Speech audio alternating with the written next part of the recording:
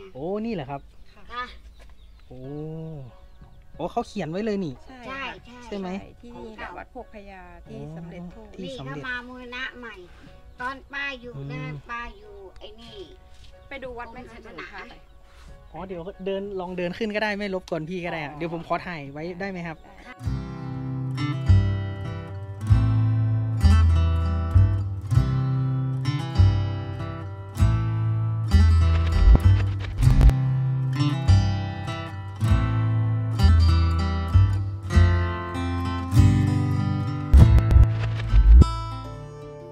พื่อนๆ ตอนนี้เรามาอยู่ที่วัดโคกพญานะครับ วัดโคกพญาเนี่ยในอยุธยาเนี่ยมี 2 ที่ ที่แรกเนี่ยจะอยู่ที่ใกล้ๆกับวัดหน้าพระเมนนะครับ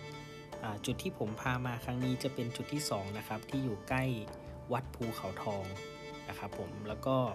จะอยู่ใกล้กับอนุสาวรีย์สมเด็จพระนเรศวรด้วยครับเพื่อนๆ เดี๋ยวลองมาดูนะครับเหตุผลที่มีการสนับสนุนว่าที่นี่ เป็นสถานที่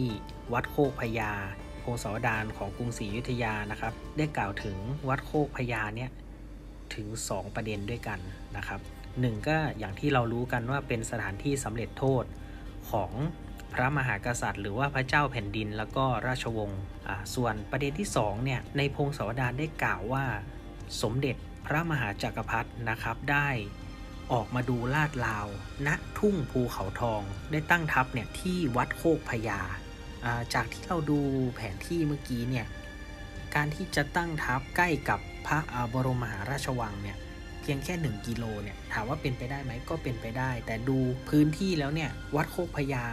ที่แรกที่เราไปเนี่ยเป็นที่ที่ไม่เหมาะต่อการตั้งทัพเพื่อที่จะเป็นสนามรบแต่ถ้าเป็นทุ่งภูเขาทองเนี่ยมันจะเป็นที่ราบ แล้วก็เหมาะที่จะเป็นสนามรบ เพราะครั้งนั้นนะครับเป็นศึกใหญ่มากเลยนะครับ แล้วก็เราเสียสมเด็จพระสุริโยไทยไปด้วยในครั้งนั้น โดยศึกครั้งเนี้ยเรารับมือกับค่าศึกเนี่ยประมาณ 1 0 0 0 0แสนเลยนะ1 0 0 0 0แสนนาย ถือว่าเป็นศึกที่ใหญ่มาก แล้วก็ด้วยภูมิศาสตร์แล้วเนี่ยเขาก็เชื่อว่าที่นี่แหละวัดโคกพญา ที่อยู่ใกล้ภูเขาทองนี่แหละเดี๋ยวลองมาดูนะฮะ อันนี้มันก็ไม่ฟันธงนะเพื่อนๆว่าที่ไหนเป็นเนาะแต่ว่าผมก็พยายามนำหลักฐานต่างๆ มาอ่านำเสนอแล้วกันเนาะอ่าเพื่อนๆก็อาจจะมีหลายความคิดเห็นนะครับว่าที่แรกอาจจะเป็นก็ได้นะครับ ที่ 2 อาจจะเป็นก็ได้ เพราะ 2 ที่นี้มีเหตุผลรองรับด้วยกันทั้งคู่นะครับอพอผมเดินเข้าไปนะครับ ผมก็ได้เจอกับ เจ้าของพื้นที่เนาะที่เป็นคุณป้าท่านหนึ่งอะนะครับ ผมก็ลองอาสอบถามประวัติต่างๆนะครับ แล้วก็ลองคุยกับท่านดูนะครับ ก็ไม่รู้เหมือนกันรู้เออว่ามีประหารตรงนี้ แต่เราไม่รู้ยังเป็นเด็กรุ่นเล็กไงโอ้นี่แหละครับค่ะค่ะโอ้โอ้เขาเขียนไว้เลยนี่ ใช่ใช่ค่ะใช่ใช่ไหมใช่ที่นี่แหละวัดโคกพญาที่อ๋อสำเร็จโทษที่นี่สำถ้าเร็จมามูลนะใหม่ ตอนป้าอยู่นะอืมป้าอยู่ไอ้นี่ ไปดูวัดไหมกรมคะศาสจะนาพาไป อ๋อเดี๋ยวเดินลองเดินขึ้นก็ได้ไม่รบกวนพี่ก็ได้อะอ๋อเดี๋ยวผมขอถ่ายไว้ได้ไหมครับได้ค่าไทยได้ในแต่เขาเขียนอักษรเป็นคนละแบบ ยอหญิง มียอยักษ์โอ้เดินไปได้ใช่ไหมคะ ได้ครับ เดี๋ยวลองโอเคเดินไปได้ โอ้โหถ้ามีรูปอันนี้ตั้งแต่ปีอะไรฮะ พอจำได้ไหมป้าก็พ่ออายุก็รุ่นฉันนี่แหละ ประมาณหกเจ็ดสิบปีเออเจ็ดสิบปีประมาณนั้นอืแหละมอันนี้คือคือตรงนี้เลยใช่ไหมด้านหลังเนี่ย ใช่ไหมหรือตรงนี้เลยหรือเปล่า นี่นี่ตรงนี้ทางเดินครับเดินออกไปนู่นอ๋อหันค่ะหน้าไปฝั่งนู้นได้ได้บ้านป้าอยู่ด้านในนี่ได้ดงตาลเนี่ยจ้าอีตอนแรกมันเป็นป่าหมดเลยเนี่ย ทางเข้าไปเนี่ยเมื่อก่อนไม่มีองค์ท่านอืมมันเป็นถนนยังไม่ได้สถร้างนนอืมเข้ามาภูทองนี่อ๋อถนนลูกลัง มาตอนหลังพระราชินีท่านสร้างทะเลสวนขึ้นมา อ๋อ ก็เลยทำทาง ทำทาง ก็เลยเมื่อก่อนแล้วตรงเนี้ยเป็นเป็นทุ่งนาหมด อืมเมื่อก่อนมันเป็นแบบทุ่งะนาค่ะ และนี่ทางเข้ามาบ้านป้านี่ เป็นสถนนลูกลังค่ะเนี่ยอ๋อเมื่อก่อนเป็นป่า เดี๋ยวนี้เข้ามาสร้างมูลนาใหม่ ตอนนั้นป้าอยู่ในกรมศาสนาอืมเดี๋ยวนี้กรมศิลป์เข้ามาสร้างใหม่ อ๋อมาสร้างใหม่มูลนะใหม่ตอนแรกมันเป็นป่าหมดเลยเนี่ยโอเคครับ ขอบคุณนะครับ คุณป้าครับ ค่ะไม่เป็นไรทำได้ครับ ค่ะ นะฮะเพื่อนเพื่อนๆเดี๋ยวเราลองเดินไปดูนะฮะ แต่เขามีรูปยืนยันนะเพื่อนๆว่าเป็นอ่า ที่ประหารพระมหากษัตริย์เนาะคือแต่ค่อนข้างลกนิดนึงโกพยา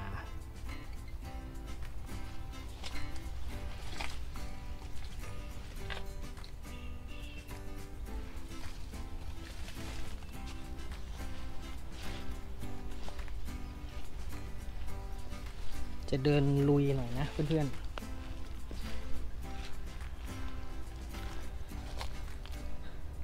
ันนี้เป็นโบสถ์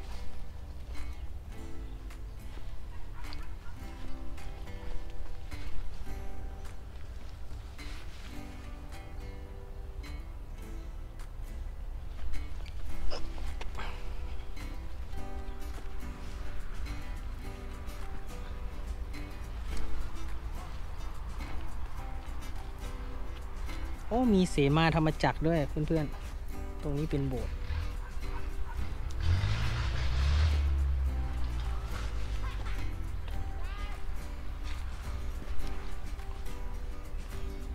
ที่จะเหมือนกันเลยเพื่อนๆ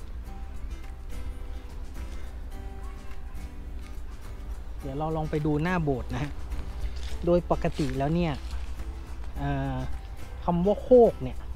คือเป็นที่ที่สูง เป็นที่ที่เอาดินมาถมเนี่ยเขาเรียกว่าโคก อย่างเช่นโคกหนองนาโมเดลก็ยกดินขึ้นมานะครับ เป็นโคกพระยาก็คือเจ้าพระยาต่างๆนะครับ แต่ที่รูปเมื่อกี้ที่ผมเห็นนะครับเขาเขียนว่าประหารพระมหากษัตริย์เนี่ยสิบกว่าพระองค์เลยนะ ที่นี่หมดเลย เนาะ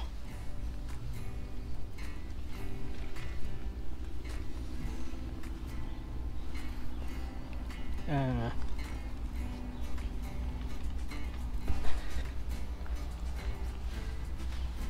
โดยการประหารนะครับ เพื่อนๆเขามักจะทำกันที่หลังวัดเนาะซึ่งตรงนี้นะครับอันนี้คือทางเข้าหน้าวัด แล้วก็จะมีทางเข้านะครับสองสองทาง อันนี้เป็น ฐานที่เอาไม้นะครับ เพื่อที่จะค้ำยัน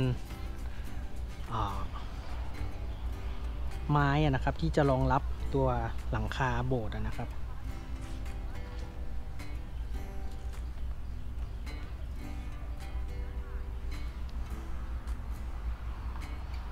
ชาวบ้านที่นี่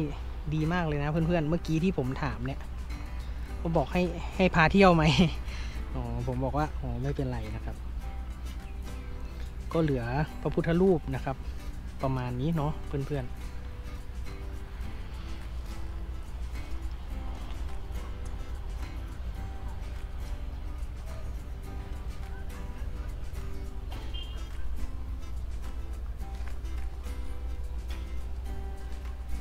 นี่นะฮะ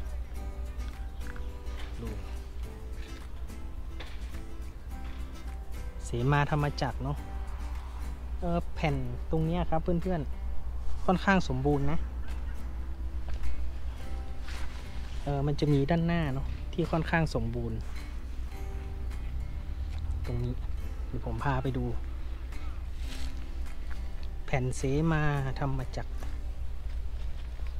เมื่อเช้าเราไปเจอเสมาคู่แล้วเนาะที่วัดมหาธาตุอันนี้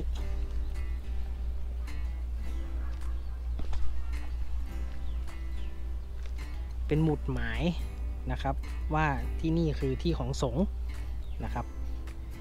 การโบการบวชก็ต้องมาบวชที่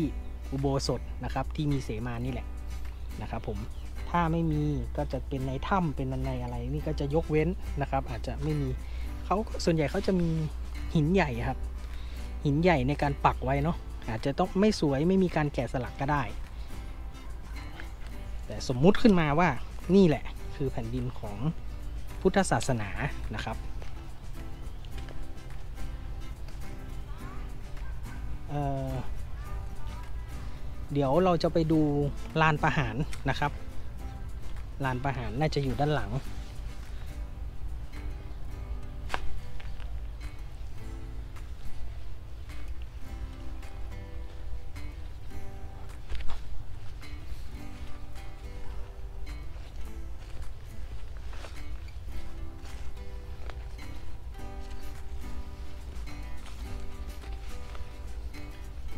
มาเที่ยว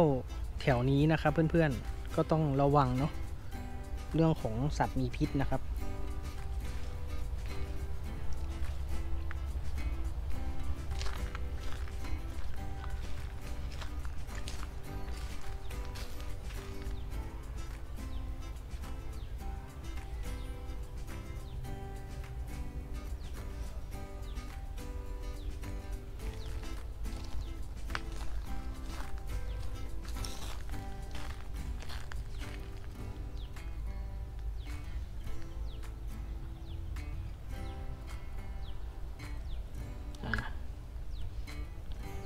ถ้าถามว่าที่นี่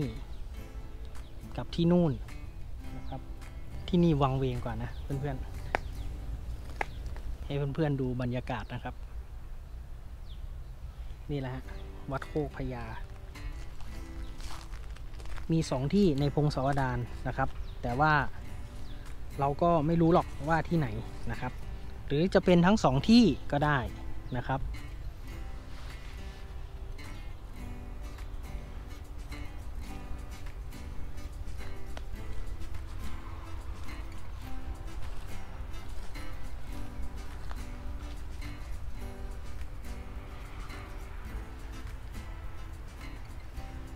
ตรงนี้ก็เป็นลานกว้างเหมือนกันนะเพื่อนๆอ่าบ้านก็มีแค่สองหลังนะครับ แต่เป็นาชาวอิสลามเนาะที่เข้ามาอยู่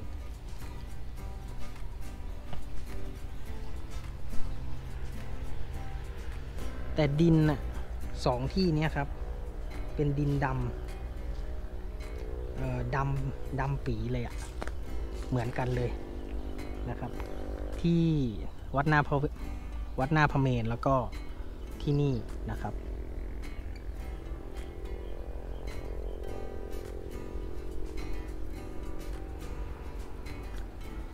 ให้เพื่อนๆดูบรรยากาศนะฮะ ตอนนี้มีผมคนเดียวนะ ที่มาเที่ยวนะครับ แล้วก็ค่อนข้างเสียวๆนิดนึง